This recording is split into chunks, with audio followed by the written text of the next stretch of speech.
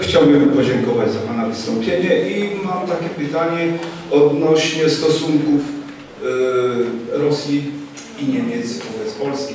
Bo ja to odebrałem tak, że oni wspólnie mm, współpracują, nie? rozmawiają. A ja to odbieram jako rywalizację jednak. E, dlaczego? Widzimy to zaangażowanie Niemiec, a jednocześnie Rosja jest tak osłabiona, że ona nie szuka bliskiej zagranicy, tylko może szuka buforu. Yy, tak to odbieram. I jeszcze jest jedna To sprawa. może najpierw Tak, do proszę tego się odniosę, potem jeszcze Pan będzie miał okazję. Pamiętam rozmaite wydarzenia, między innymi takie, że w 1987 roku odbył się w Wiedniu, bo odbyło się w Wiedniu spotkanie ministrów spraw zagranicznych OBWE, Organizacji Bezpieczeństwa Współpracy w Europie. No i Związek Radziecki reprezentował tam y, minister spraw zagranicznych Edward Szewarnadze, późniejszy prezydent Gruzji, obalony przez zwiada Gamsachurdię. I dziennikarze zapytali Edwarda Szewardnadze, co Związek Radziecki sądzi o ewentualnym zjednoczeniu Niemiec. Y, Spodziewali się, że on tak jak Gromyko powie nikak niet, bo Gromyko to zawsze mówił nie, dlatego nazywali go mister niet.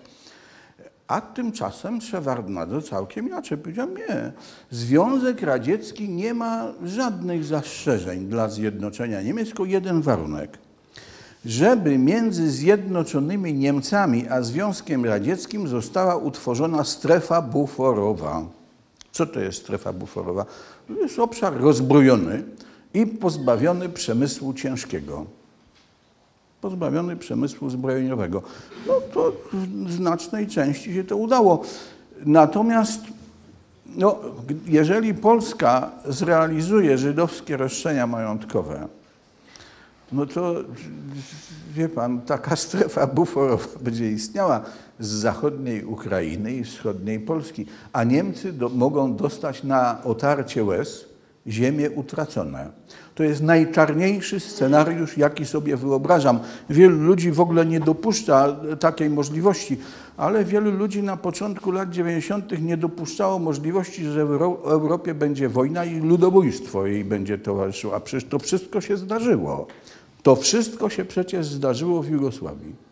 Więc wszystko się może zdarzyć i z każdą ewentualnością trzeba się liczyć. I pytanie jest nie takie, żeby tu sobie akademicko dyskutować, tylko trzeba się na to przygotować.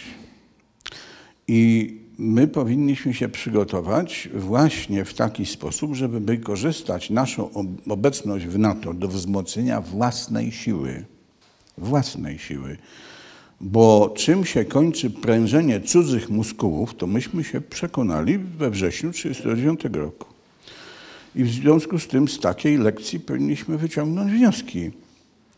I to nie jest tak, że my nie możemy. Tu wskazałem na te trudności, dlaczego tak jest. I to y, problem starych kejkotów rzeczywiście jest poważny, bo to w końcu rzeczywiście doprowadzą do konieczności rozstrzygnięcia pewnej alternatywy. Albo ich pozabijać, albo ich przekonać. No tak. Bismarck, kanclerz Bismarck y, mówił, że w parlamencie tam niemieckim, że zagadnień dziejowych nie rozstrzyga się deklamacjami, tylko krwią i żelazem. Krwią i żelazem, także to jest chamskie i brutalne, ale tak jest. Mao Tse-tung mówił, że władza wyrasta z lufy karabinu. I to też jest prawda. I to też jest prawda. Tymczasem y, naród polski jest chyba najbardziej rozbrojony w Europie. Nawet mężni Czesi są pod tym względem w lepszej od nas sytuacji. No i dlatego między innymi niektóre ugrupowania polityczne podnoszą problem dostępu do broni obywateli polskich. Bo Wszyscy mają, tylko my nie mamy. Y, Więc to warto również i tak na to spojrzeć. Natomiast czy rywalizacja między Niemcami i Rosją ja takich, takiej rywalizacji nie dostrzegam, bo niby o co mieliby rywalizować? W sprawie, y, y, w sprawach tych y, stosunków energetycznych idą ręka w rękę. Przecież Niemcy popierają, wbrew stanowisku amerykańskiemu, popierają budowę rurociągu Nord Stream 2. No to jakaż tu rywalizacja? Współpraca jest ścisła. Na Ukrainie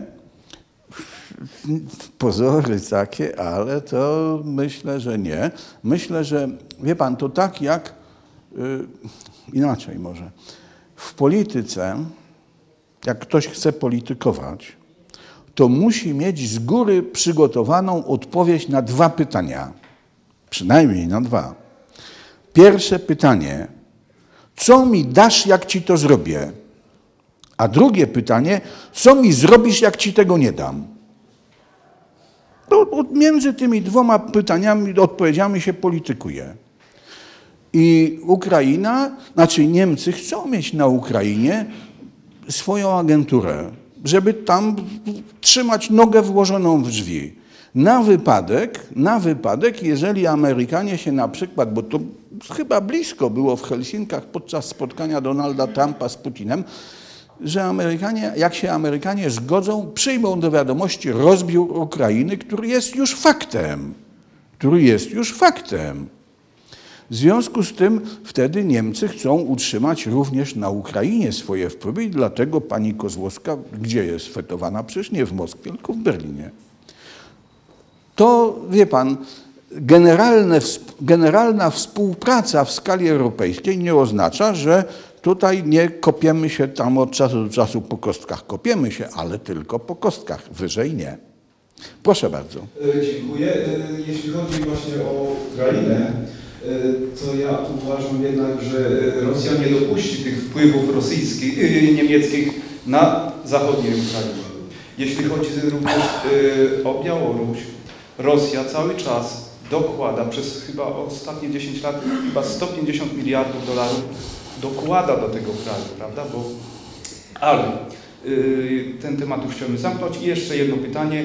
Co zrobić właśnie, abyśmy z tej trudnej sytuacji y, wybrnęli? Bo nasz naród jest taki spolegliwy i ja tu podam może trzy przykłady, tak szybko. Y, y, Nasi politycy często mówią, my jako pierwsi uznaliśmy Ukrainę. W 1938 roku Polska jako pierwsza uznała Słowację. Było to chyba w marcu. Y, Na następ, 15, 14 marca. 15 marca my uznaliśmy Słowację.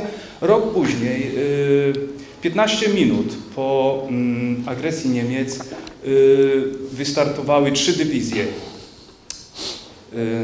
To było chyba ponad 100 tysięcy słowackich żołnierzy słowackich. My o tym nie mówimy. Y, Odbyła się później defilada w Zakopanem. Zajęli jakieś terytoria. Y, I następna sprawa, a, y, to będzie, a, y, sprawa właśnie, tak? Dobrze, to już nie będę... Co zrobić? Tak, co zrobić? Co zrobić? Proszę Tak, pana, to to już mówiłem. Musimy się nauczyć.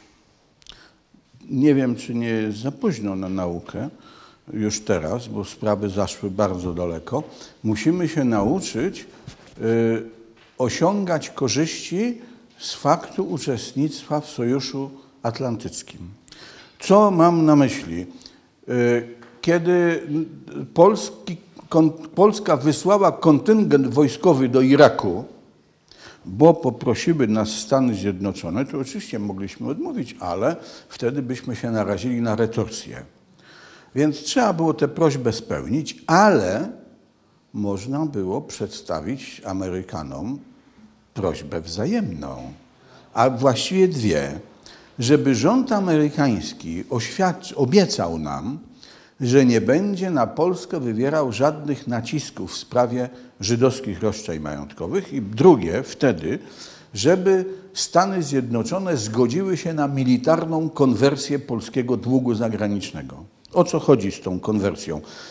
Polska miała długi już wtedy tylko wobec państw członkowskich NATO. I chodziło o to, żeby za zgodą tych wierzycieli, Amerykanie by potrafili tam odpowiednio tę zgodę wymusić, za zgodą tych wierzycieli te pieniądze zamiast im wypłacać, żebyśmy przeznaczyli na modernizację i dozbrojenie armii. To wtedy byśmy wiedzieli, co nasze wojsko w Iraku robi, że zarabia duże pieniądze na modernizację i dozbrojenie armii. Niestety ani prezydent Kwaśniewski, ani premier Miller w ogóle nawet się nie zająknęli, bo prezydent Kwaśniewski myślał, że jak on, jak to pan ten książę małżonek Sikorski w podsłuchanej rozmowie powiedział, że jak tam zrobi coś przyjemnego prezydentowi Bushowi, to ten z tej wdzięczności zrobi go pierwszym sekretarzem ONZ-u, w ostateczności pierwszym sekretarzem NATO. Prezydent Bush y, nie uchodził w Stanach Zjednoczonych za najtęższą głowę, ale nawet i on wiedział, że faceta, który frymarczy interesami państwa, na którego czele stoi, to jemu nie można dać żadnej posady, bo on każdego zdradzi. Więc pan, pan Aleksander Kwaśniewski, jak przestał być prezydentem, to wylądował na posadzie jakiegoś wykidajły u jakiegoś żydowskiego milionera. O i to, to on był, a tu myśmy go wybrali, wie pan, dwa razy na prezydenta i to bez pistoletu bolszewickiego przy głowie. Więc pan powiada, że nasz naród jest spolegliwy. Nie, nasz naród jest safandulski. Wie pan, że toleruje takich palantów władzy. No, to bezkarnie nigdy nie uchodzi i dlatego sprawy się rozwijają w takim kierunku. To najwyższy czas, żebyśmy zastanowili nad czy to nie jest za późno, no ale lepiej późno niż wcale.